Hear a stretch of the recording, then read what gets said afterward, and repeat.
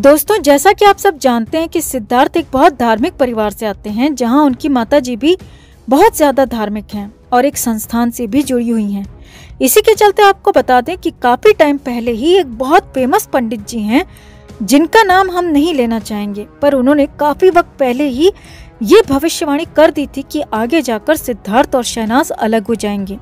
हालाँकि उनकी भविष्यवाणी पर तब किसी ने भी विश्वास नहीं किया था, क्योंकि लोगों को लग रहा था कि ये कहना चाह रहे हैं कि इन दोनों का ब्रेकअप हो जाएगा। ये दोनों एक दूसरे को भूलकर मूव ऑन कर लेंगे। ये बात तो किसी के जहन में नहीं आई थी कि सिद्धार्थ इस दुनिया से चले जाएँगे और इस वजह से सिडनास की जोड़ी टूट जाएगी, अलग हो जाएगी। वैसे कई लोग ऐसी बातों पर बिल्कुल भरोसा नहीं करते। पर जब कुछ वाक्य इस तरह सच होकर सामने आते हैं, तब विश्वास न कर पाना बहुत मुश्किल हो जाता है। दोस्तों, क्या आप इन बातों पर विश्वास करते हैं? क्या आपने ऐसा कभी कुछ अनुभव किया है? कमेंट में आप भी अपने अनुभव हमारे साथ ज़रूर साझा करें।